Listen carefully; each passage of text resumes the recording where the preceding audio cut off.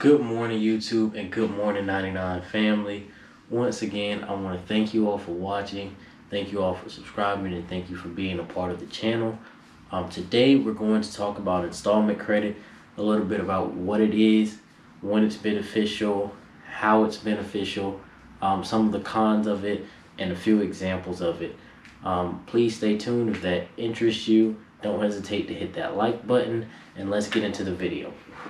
So, Installment credit can be easily identified um, from revolving credit, which is the other main type of credit that you're going to have on your credit profile.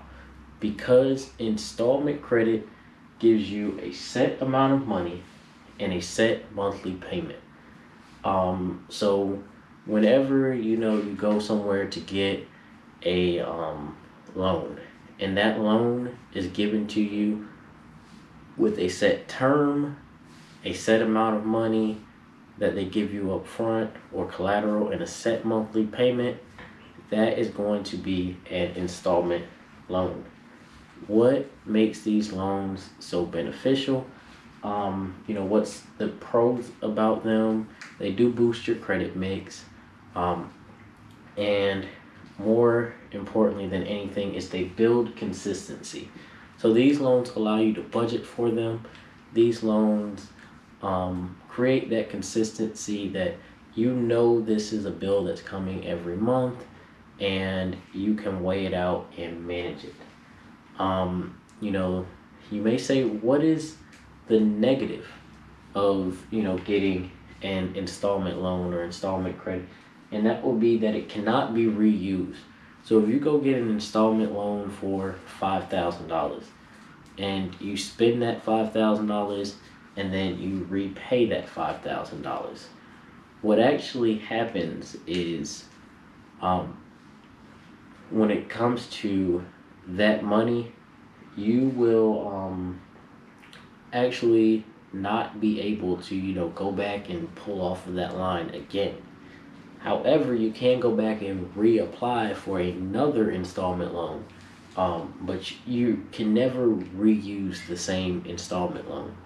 Um, whereas with revolving credit, such as credit cards, you can always reuse them and tap back into them once you pay them off.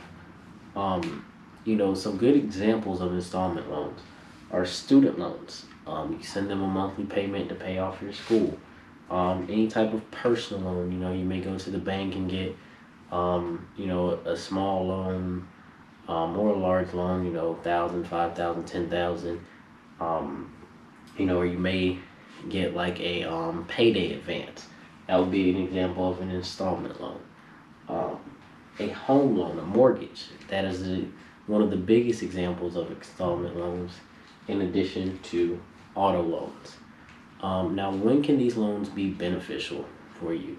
Um, they can be beneficial for you when you're investing, um, when you're trying to make large purchases, um, and anytime when um, you're able to buy something um, larger that will benefit you that is actually a necessity.